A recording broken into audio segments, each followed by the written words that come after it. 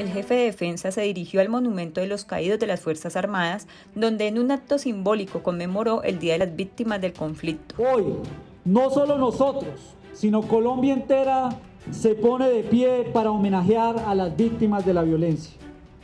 En nuestra memoria viven esos 9.113.000 colombianos que han sido víctimas de esta historia dolorosa. Desde la Casa de Nariño, el ministro de Defensa, Diego Molano, acompañó al presidente Iván Duque, al ministro del Interior, Daniel Palacios, y al director general de la Unidad de Víctimas, Ramón Rodríguez, en la conmemoración del Día Nacional de la Memoria y Solidaridad con las Víctimas del Conflicto.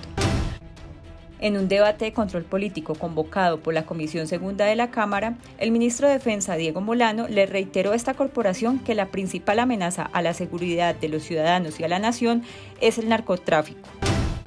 En plenaria del Senado de la República, el ministro de Defensa, Diego Molano, resaltó las acciones que a diario cumplen los miembros de la fuerza pública para garantizar la seguridad de todos los colombianos y el acceso en tiempos de pandemia a las ayudas humanitarias que diariamente brinda el gobierno nacional.